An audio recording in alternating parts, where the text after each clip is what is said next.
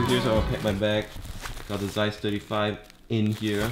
This is the Sigma MC11. Got like a little bag separator down here and then down there that's my 70-200 f4 lens. Very nice little lens. Everything's nice and neat. Probably put the camera body over here and then have... Maybe I should bring a gimbal. Hmm. Nah. I don't I don't think I'll bring a gimbal. Maybe maybe next time. Love this bag by the way. Just gonna bring one SD card because I'm only really gonna be shooting stills in 1080p. And I think and maybe a portable light that, that that'll be about it. The next time you see me will be with me will be me at Marina Bay trying to shoot some photos. Marina Bay Sands is a shooting location. Wonderful futuristic city vibes and great views from the sky park. It's an awesome place to be in and an awesome place to shoot in.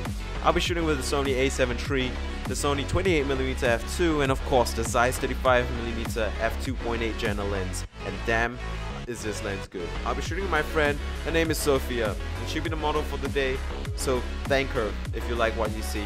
And there will be sample photos at the end of the video. This lens is awesome, the build quality is wonderful and the design is stunning.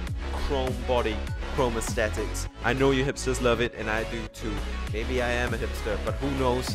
It's a wonderful little lens in terms of design and I absolutely love it. But apart from that, how does it shoot? Well, you're gonna need an adapter to use it with any sort of modern camera and it doesn't have stabilization or autofocus so you're gonna be using a gimbal or using slow-mo like I did and you're gonna be manual focusing but once you nail that manual focus it is pretty damn impressive. f2.8 isn't the fastest lens, it isn't the widest aperture but goddamn does it give good bokeh good blurry background even at f2.8 and I absolutely love it. Like seriously, check this out. Sure, at f2.8 it does lack a bit of sharpness and it has very very low contrast but once you color grade it, it looks wonderful so there's no problem there. And honestly, I'm perfectly okay with how it looks even without color grading. I think contrast is rather overrated.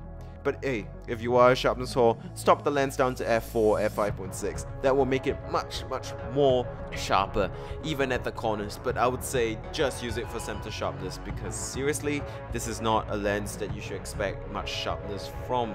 It's an old film lens, old coatings, deal with it and embrace it and I do. I love 35mm. It's great for portraits and it's great for video. It's easy to focus with and it's just so fun to shoot The Carl Zeiss Jena 35 can be had for a very cheap price on eBay, 100 plus dollars and with a cheap adapter you can use it with your Sony camera or whatever camera you're using and have a lot of fun with it like I did with this lens.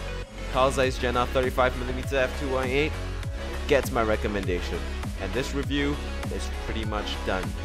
Alright, I'm gonna head out. See you soon. Here's some sample images so that you can see how the image looks.